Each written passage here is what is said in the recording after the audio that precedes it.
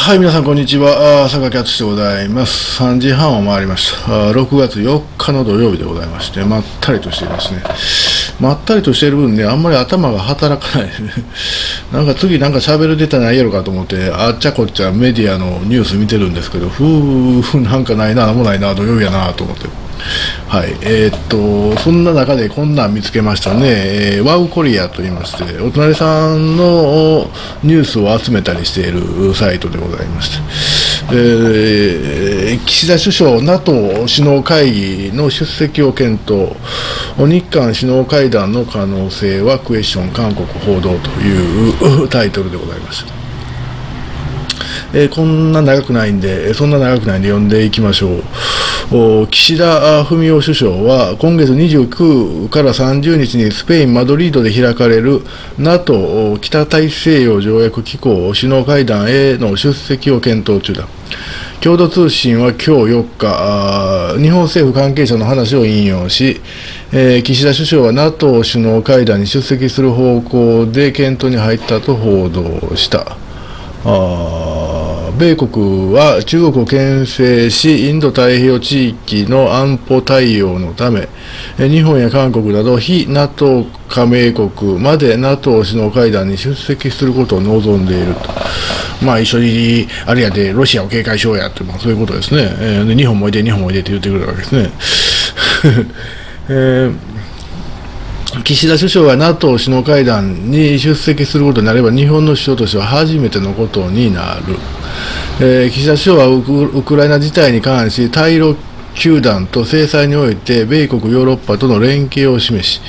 えー、アジア太平洋地域における日本の防衛を強調するものとみられる。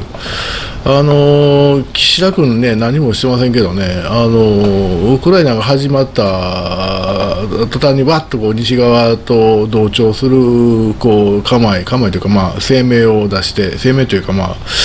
で制裁に入りましたね、でありがたくもですね、え、ロシアからですね非友好国に認定をしていただきましてですね、日本人はもう何百何人ですか、え、第1次、2次の指定で入国禁止ということで、岸田君もですねその筆頭に挙げられております、入国禁止と。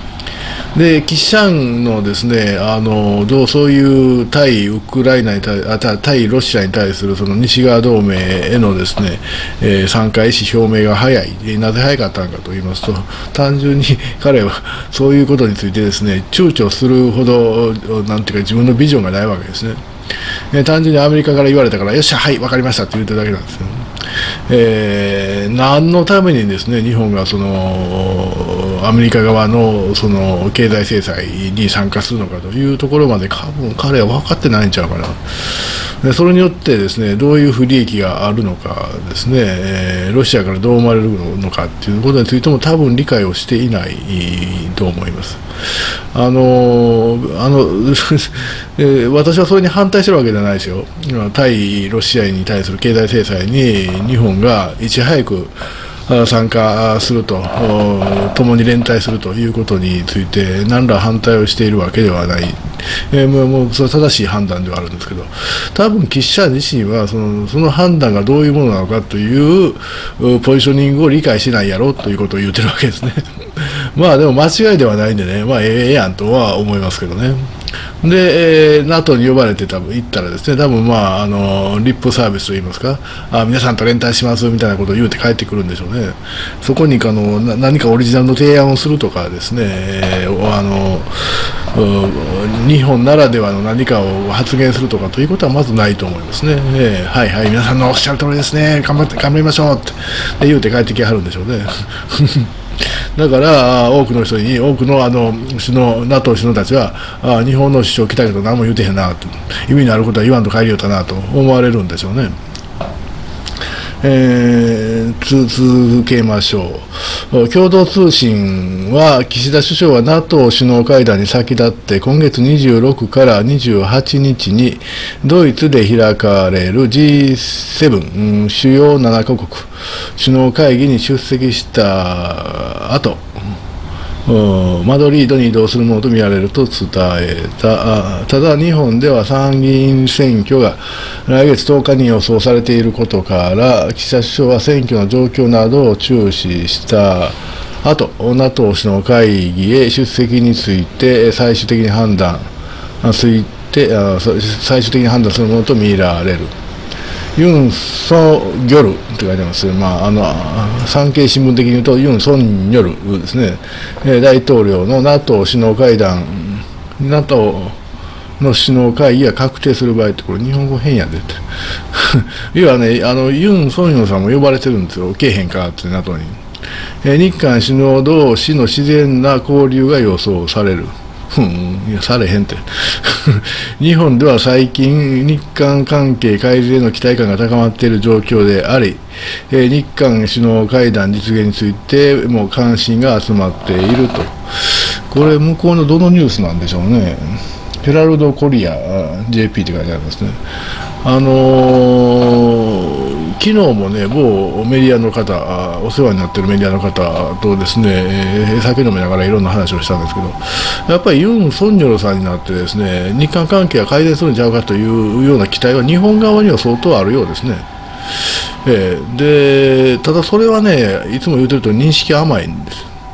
いやあんまりその日韓関係というものをですね丁寧にウォッチングしていないからそういうことが言えるんではないかなというふうに思います。でまあ、日本側にもそういう淡い期待はあるんですけど、もっとあるのは向こうなんですよ。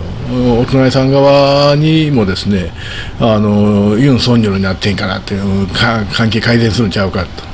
あの関係を改善したいという意思はものすごくあるんですね、向こう側にも。で会見を環境を改善して何をしたいかっていうと通貨スワップやりたいですね向こうは まあそれが第一ですね、えー、であの あのまあまあそれはいいんですけどで日本もですねその淡い期待をしているんですけどそれ以上に向こうにあって、えー、向こうはですね、ユン・ソンニョルになってんから日本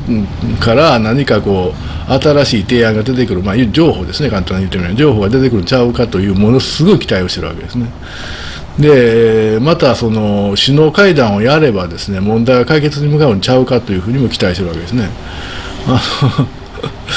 えー、それかなりこうなんて言いますかね私のようにずっとニュースを見てきた人間からすると何言うてんやろなあいつらってまたいつもの通り、えー、勝手な解釈勝手な希望的解釈をしてんなと。あのまず一つに、えー、首脳が変われば何かが変わるというふうに思ってるということ自体がですね非常にこう彼ららしいですね。あの日本的な感覚から言えば、君らまず条約に違反してるやろと、合意に違反してるやろと、約束守るという原則に戻りなっていうのが日本の原則論ですけど、こう原則論みたいなこう発想、価値観っていうものが薄いんですね、向こうは。至って薄い。そんなんは、首脳が変わったら首脳が決めたらええことやと、そういうふうに決める、考えるわけですね。大統領が変わってから大統領が決めたらええの。日本の総理大臣変わったら、日本総理大臣決めたらええのと。そうそう だから彼らはその昔々に結んだ条約なんてあんな守らんでええねんというそっちにつながっていくわけなんで今は時代が変わったんやと。まあね、えー、そういう発想で来るんで、だから首脳が変わった、うちの大統領が変わったと、そっちも総理大臣にもう2人も変わっとるやないかと。そんな後は話し合うたらええねんみたいな。で、すべて自分たちの都合のいいようなですね、解決策が出てくるんちゃうかというふうに期待をしているわけです。まああのキッシャンねあのフラフラしてますけどもフラフラというか、まあ、自分のビジョンは持ってない人なんですけどただ痛い目には負ってるんでね外務大臣の時に。でこの前、バイデンさんがだいぶ促したそうなんですよね、まあ、向こうと仲良しせえやってでもそこにも釘を刺せる程度には認識はあるわけですね。あなたもよく知ってるでしょと、彼らは約束守らないんですよとい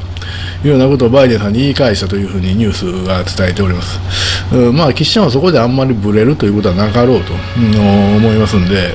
えー、仮に首脳会談、ユン・ソンニョルさんとですねあのマドリードではいはいって言って5分でも10分でも、あまあ、立ち話か、あの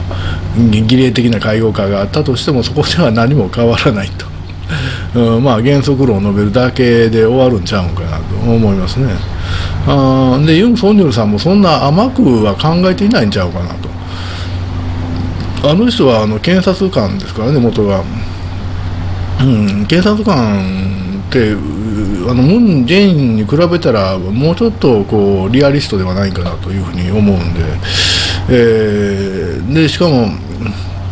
この法律が絡んでる、法律か条約が絡んでるわけであって、えー、どうでしょうね、まあ、あのムン・ジェインみたいな、あんな頭の中がお花畑になってるような対応では、対応の仕方とは違ってくるとは思いますけども、かといってね、あのユンユン・ソクルさんにしたところで、ソンニョルさんにしたところでね、あの向こうの国民感情を無視した行動、こうあの政策は、方針は取れないはずなんです。だから大統領が変わったとしても多分この関係が著しく改善するかというとそんなことはないよというふうに私は思いますね。